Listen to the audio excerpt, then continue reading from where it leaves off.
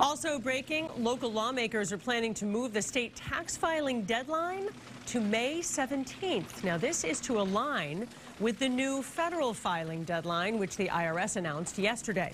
The measure will be included on an existing tax bill, which is expected to move quickly through the legislature.